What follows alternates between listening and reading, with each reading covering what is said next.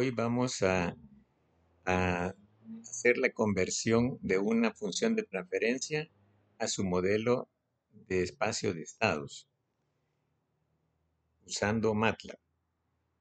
Primero definimos la función de transferencia. Para ello vamos a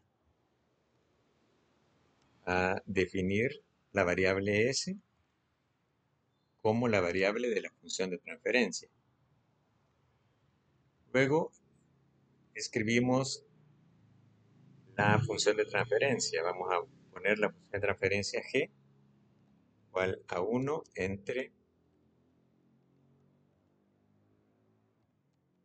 vamos a tener una función de transferencia de segundo orden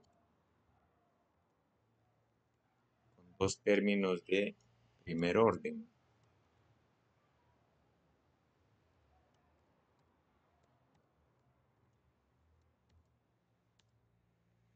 Luego vemos que ahí tenemos una función de transferencia de segundo orden.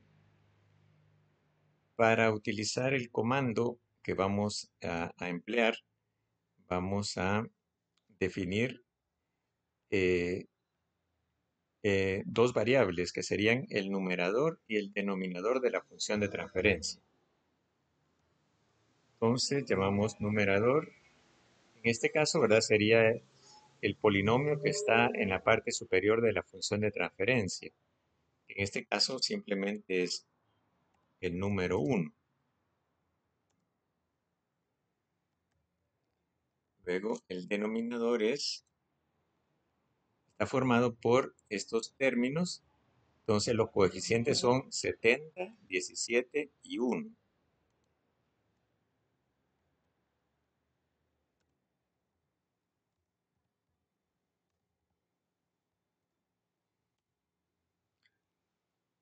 Y finalmente utilizamos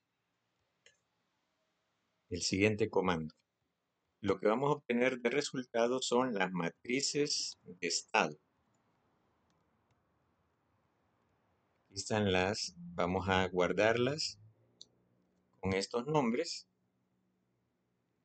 Entonces el comando es función de transferencia hacia espacio de estados y le ponemos aquí de entrada la variable numerador y denominador que acabamos de definir. Le damos y aquí está. Aquí aparece la matriz A, la matriz de estado, la matriz B, la matriz de entrada, la matriz C, que es la matriz de salida, y la matriz D, que es la matriz de transferencia directa. Entonces vemos cómo la salida, ¿verdad? Sería igual a punto eh, por la variable estado x2, ¿verdad? Porque están en la segunda posición, la variable estado x2. Y vemos acá la, la matriz de estado que estaría como en el orden inverso, ¿verdad? Como en el orden inverso.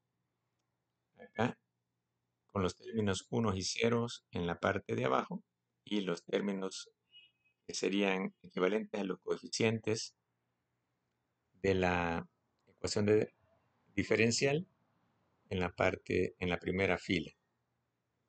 Bueno, entonces vemos aquí cómo hemos utilizado este comando, ¿verdad? Aquí están los datos provenientes de la función de transferencia y nos produce la, las matrices del espacio de estados equivalentes.